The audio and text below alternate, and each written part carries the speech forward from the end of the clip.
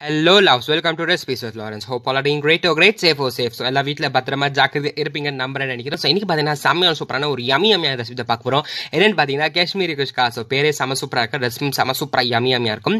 So இந்த recipe நம்மளுக்கு எனக்கு சொல்லி கொடுத்தது யார் பார்த்தீங்கன்னா chef Mannan from Delhi thanks much chef so வாங்க வீடியோக்குள்ளே போகலாம் ஸோ ஃப்ரெண்ட்ஸ் முதல் என்னென்னு பார்த்தீங்கன்னா பே லீஃப் பட்டை கிராம்பு ஏலக்கதை ரொம்ப ரொம்ப முக்கியமான விஷயம். அதுக்கப்புறம் பார்த்தீங்கன்னா ஆயில் ஸோ ஆயில் பார்த்தீங்கன்னா ரெண்டு டேபிள் ஸ்பூன் எடுத்திருக்கேன். ஸோ முதல் பார்த்தீங்கன்னா ஒரு பாத்திரம் வச்சுலாம் ஸோ பாத்திரம் வச்சு ரெண்டு டேபிள் ஸ்பூன் ஆயில் கீ எது வேணாலும் நீங்கள் எடுத்துக்கலாம். ஸோ வச்ச பட்டை கிராம்பு ஏலக்காய் போட்டுடலாம். ஒரு வெங்காயத்தை நீல நீல வாக்கில் கட் பண்ணி வச்சிருக்கேன். அதுவும் போட்டாச்சு. அதுக்கப்புறம் பார்த்தீங்கன்னா ஒரு டேபிள் ஸ்பூன் இஞ்சி பூண்டு விழுது. ஸோ வெங்காயம் லைட்டாக கலர் சேஞ்ச் ஆகணும். அதுக்கப்புறம் ஒரு டேபிள் ஸ்பூன் இஞ்சி பூண்டு விழுது போட்டு நல்லா மிக்ஸ் பண்ணிக்கலாம். ஸோ நல்லா சாட்டே பண்ணி நல்லா லைட்டாக கலர் சேஞ்ச் ஆகணும். நல்லா சாட்டே ரொம்ப ரொம்ப முக்கியம் இந்த ரெசிபிக்கும் ஸோ வெங்காயம் வதக்கல் ரொம்ப ரொம்ப முக்கியம். எஸ்பெஷலி பார்த்தீங்கன்னா குஷ்கா பிரியாணி இந்த மாதிரி ரெசிபிஸ்க்கெல்லாம் சாட்டே பண்ணுறது ரொம்ப ரொம்ப முக்கியம். ஸோ அதுக்கப்புறம் பார்த்தீங்கன்னா ஒரு முக்கியமான ஒரு பவுடர் சேர்க்க போகிறோம் என்னென்னு பார்த்தீங்கன்னா பாதாம் கேஷ்யூ பவுடர் ஸோ இது பவுடர் இல்லை லைக் ஒன்றும் பாதியமாக இடிச்சு போட்டிருக்கோம். ஒரு நல்ல டேஸ்ட் ஆஃப் ஃப்ளேவர் இருக்கும் நல்ல செமையாக சூப்பராக கொடுக்கும். ஸோ மேக் ஷோர் இது கொஞ்சம் கம்பல்சரி இது ஒரு கம்பல்சரி தான். இது வந்து ஆப்ஷனல் இல்லை கம்பல்சரி நீங்கள் செய்து தான் ஆகணும். ஸோ ரொம்ப ரொம்ப செம்ம சூப்பராக அது வாசம் என்னன்னு தெரியல. எனக்கு ரொம்ப ரொம்ப பிடிக்கும். அந்த வாசம் செம்ம சூப்பராக இருக்குது அதுக்கப்புறம் பார்த்தீங்கன்னா தக்காளி.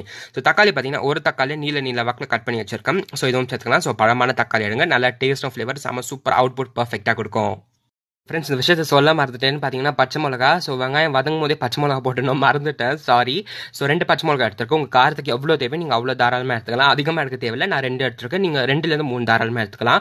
நல்ல டேஸ்ட் ஆஃப் ஃப்ளேவரும் கொடுக்கும். ஸோ பச்சை மிளகா பார்த்தீங்கன்னா எப்பவுமே வெங்காயத்தை கூட தான் சேர்க்கணும். ஃபைனலாக சேர்க்கக்கூடாது. ஸோ குஷ்கா பிரியாணி இந்த மாதிரி ரெசிபிஸ்க்கெல்லாம் இப்போ சேர்த்தா தான் ஐ மீன் வெங்காயம் அப்போ சேர்த்தா தான் பர்ஃபெக்டாக அந்த ஒரு டேஸ்ட் அந்த ஃப்ளேவரில் பர்ஃபெக்டாக வரும். ஸோ அதுக்கப்புறம் பார்த்தீங்கன்னா ஒரு முக்கியமான பேஸ்ட் நம்ம சேர்க்க போகிறோம் ஸோ அதுக்கு பார்த்தீங்கன்னா கொஞ்சோண்டு மல்லி இலை புதினா இலை கொஞ்சம் பாதாம் கேஷ்யூஸ் பட்டை கிராம்பு ஏலக்காய் அதெல்லாம் முக்கியம். ஸோ எல்லாம் ஒரு மிக்ஸி ஜாரில் போட்டு நல்லா க்ளீனாக வாஷ் பண்ணணும் ஃப்ரெண்ட்ஸ் அங்கங்கே திட்டு திட்டா மண் இருக்கும். ஸோ அதனால பார்த்தீங்கன்னா கொஞ்சம் அலசிட்டு போடுங்க. ஸோ வெங்காயம் பாதம் கேஷு பட்டை கிராம்பு இது எப்போவுமே நான் எடுக்கிற எந்த ரெசிபிஸ்க்கும் செய்வேன். ரொம்ப நல்லா டேஸ்ட் ஆஃப் ஃப்ளேவர் செம்ம சூப்பராக கொடுக்கும். ஸோ இது அரைச்சி ஒரு பேஸ்ட்டாக வச்சுக்கலாம். ஸோ அந்த பேஸ்ட்டை தான் நம்ம இப்போ இந்த இப்போ பண்ணோம் இல்லைங்களா? ஸோ அந்த தக்காளி வெங்காயம் வதங்கிச்சு பார்த்தீங்களா ஸோ அதில் நம்ம விட போகிறோம் இந்த மசாலா பார்த்தீங்கன்னா ஒரு நல்ல ஃப்ளேவர் டேஸ்ட் ரொம்ப ரொம்ப நல்லா கொடுக்கும். ஃப்ரெண்ட்ஸ் கண்டிப்பாக நீங்கள் ட்ரை பண்ணி பாருங்க. அப்போ தான் அந்த ஃபீல் புரியும். நல்ல டேஸ்ட் செம்ம சூப்பராகும் ஸோ இதை நம்ம வதக்காத அரைச்ச வதரி ஸோ கொஞ்சம் வதக்கலாம் இப்போ பார்த்தீங்கன்னா basmati rice so basmati rice பார்த்தீங்கன்னா ஒரு கப் எடுத்திருக்கேன். இது ஒரு டுவெண்ட்டி மினிட்ஸ் ஊறட்டும். ஸோ அதனால இப்போ தண்ணி ஊற்றி அலசி ஒரு டுவெண்ட்டி மினிட்ஸ் ஊற வச்சிடலாம். ஸோ அதுக்கப்புறம் பார்த்தீங்கன்னா இது இங்கே பேக் வந்துடலாம் ஸோ எனக்கு பார்த்தீங்கன்னா நல்லா ஸோ ஃப்ரெண்ட்ஸ் பாஸ்மதி ரைஸ் அந்த பக்கம் அது ஊறிட்டே இருக்கு இந்த பக்கம் பார்த்தீங்கன்னா கொஞ்சோண்டு மஞ்சள் பொடி சேர்க்கலாம் இப்போ ஓரளவுக்கு நல்லா வதங்கிடுச்சு. பத்த வடை போயிடுச்சு. அதில் நம்ம மசாலா ஐட்டம்ஸை சேர்க்க ஸ்டார்ட் பண்ணிடலாம். கொஞ்சம் மஞ்சள் பொடி ஒரு டேபிள் ஸ்பூன் மிளகா பொடி ஒன்றரை table spoon garam masala mutton masala வேணா எடுத்துக்கலாம். நான் பாதி எடுத்திருக்கேன். அரை டேபிள் ஸ்பூன் கரம் மசாலா ஒரு டேபிள் ஸ்பூன் நான் வந்து மீட் மசாலா மட்டன் மசாலா எது வேணாலும் நீங்கள் எடுத்துக்கலாம். ஸோ போட்டு நல்லா சாட்டே பண்ணி லைட்டாக அதெல்லாம் நான் அந்த மசாலாலாம் நல்லா வதங்கணும். அப்போ தான் நல்லா டேஸ்ட் ஃப்ளேவர் செம்ம சூப்பராக கொடுக்கும். ஸோ வதங்கிறது ரொம்ப ரொம்ப முக்கியம். எந்த ரெசிபி எடுத்துக்கலாம்னு சரி. ஸோ வதங்கிறது ரொம்ப ரொம்ப முக்கியம். அடுத்து ஒரு முக்கியமான பேஸ்ட் அதுக்கு பார்த்தீங்கன்னா ரெண்டு டேபிள் ஸ்பூன் தயிர் அதுக்கப்புறம் பார்த்தீங்கன்னா பாதம் கேஷஸ் கொஞ்சம் ஒரு துண்டு பட்டை கிராம்பு ஏலக்காய் இதெல்லாம் போட்டு லைட்டாக ஒரு தண்ணியான பேஸ்ட் அரைச்சிக்க ஒரு தண்ணியான பேஸ்ட் ஒரு திக்கா பேஸ்ட் உங்கள் விருப்பம் எப்படி வேணாலும் நீங்கள் அரைச்சிக்கலாம்.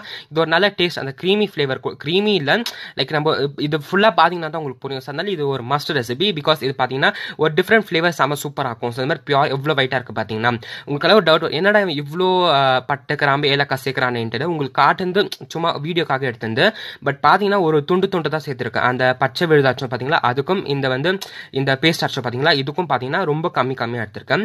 ஸோ தண்ணி விட்டு நல்லா கொதிக்க விட்டலாம் நம்மளுக்கு பார்த்தீங்கன்னா இப்போ கிரேவி கன்சிஸ்டன்சி வரணும். கிரேவி கன்சிஸ்டன்சிக்காக மட்டும் தான் இப்போ தண்ணி ஊற்றி நல்லா கொதிக்க விடுறோம். இந்த ரெசிபி பார்த்தீங்கன்னா கொஞ்சம் கிரேவி கன்சிஸ்டன்சி இப்போ பார்த்தீங்கன்னா தெரியும் இல்லைங்களா? ஸோ இந்த மாதிரி திக்கான கிரேவி கன்சிஸ்டன்சி வரணும். ஸோ இப்போ பார்த்தீங்கன்னா நல்லா திக்கான இந்த கிரேவி கன்சிஸ்டன்சி வந்துருச்சு. இப்போ பார்த்தீங்கன்னா நம்ம தண்ணி எவ்வளோ வேணுமோ ஸோ ஒரு கப்பு பாஸ்மதி ரைஸ்க்கு பார்த்தீங்கன்னா ஒன்றரை கப்பு தண்ணி இதுதான் எப்பவுமே கரெக்டான ரேஷியோ ஸோ டுவெண்ட்டி மினிட்ஸ் அங்கே ஊறி அந்த அரிசி ஊறிடுச்சு இல்லைங்களா? ஸோ டுவெண்ட்டி மினிட்ஸ் அங்கே அரிசி ஊறிடுச்சு. ஸோ பார்த்தீங்கன்னா இப்போ நம்ம ஒரு அஞ்சு நிமிஷம் இது குக் பண்ணி எடுத்து நம்ம பார்த்தீங்கன்னா ஒன்றரை கப்பு தண்ணி விட்டுடலாம். So first gravy so gravy ஆன பின்னிக்கு பார்த்தீங்கன்னா ஒன்றரை கப்பு தண்ணி ஊற்றி ஒரு அஞ்சு நிமிஷம் கொதிக்க விட்டு நம்ம பாஸ்மதி ரைஸ் இருக்கு இல்லைங்களா? ஸோ அதை போட்டு ஒரு லைட்டாக மிக்ஸ் பண்ணிடலாம். ஸோ உப்பு சொல்ல மறந்துட்டேன். ஸோ உப்பு வந்து நம்ம தண்ணி விட்றோம் பாருங்களா? ஸோ அந்த சமயத்தில் வந்து நீங்கள் உப்பு போட்டுக்கலாம். எவ்வளோ உப்பு தேவையோ அவ்வளோ போட்டுக்கலாம். ஸோ பார்த்தீங்கன்னா ஆறுலேருந்து ஏழு நிமிஷம். ஃபுல்லாக சிம்மில் வச்சு குக் பண்ணோம் ஃப்ரெண்ட்ஸ் அப்போ தான் பர்ஃபெக்டாக வரும். ஸோ ஃப்ரெண்ட்ஸ் இந்த டவுட் உங்கள் நிறைய பேர் இருக்கும் ஓகே இதே ஸ்டைல் நம்ம பிரியாணி செய்யலாமான்ட்டு தாராளமாக செய்யலாம். எந்த தப்புமே இல்லை. ஸோ நீங்கள் மட்டன் எடுத்தீங்கன்னா கண்டிப்பாக பாயில் பண்ணி நம்ம தண்ணி விட்டு கொதிக்க மாட்டீங்கன்னா அந்த ஸ்டேஜ் நீங்கள் போடணும். சிக்கன் எடுத்தீங்கன்னா எந்த விஷயத்துலையுமே தாராளமாக நம்ம தண்ணி விட்டு கொதிக்க வைக்கும் பார்த்தீங்களா அந்த ஸ்டேஜில் போகலாம் பர்ஃபெக்டாக செம சூப்பராக இருக்கும் ஆறு நிமிஷத்துக்கு அப்புறம் திறந்து பார்த்தா கம கம கமன் செம்ம சூப்பராக டேஸ்ட்டாக இருந்துச்சு. பார்த்தீங்கன்னா எவ்வளோ உதிரி உதிரியாக பர்ஃபெக்டாக இருக்குது பார்த்தீங்களா ஸோ இந்த ரெசிபியோட ஹைலைட்டே பார்த்தீங்கன்னா அந்த மசாலா தான். ஸோ அந்த மசாலா நல்லா அதிகமாக இருக்கும். லைக் நம்ம ஒரு ஸ்பூன் ஸ்பூன் எடுத்து அது சாப்பிட்டு பார்த்தா அவ்வளோ டேஸ்ட்டாக ஃப்ளேவர் அந்த பிரியாணியும் தோத்து போயிடும் ஃப்ரெண்ட்ஸ் அவ்வளோ டேஸ்ட்டாக பர்ஃபெக்ட் ஆகும்.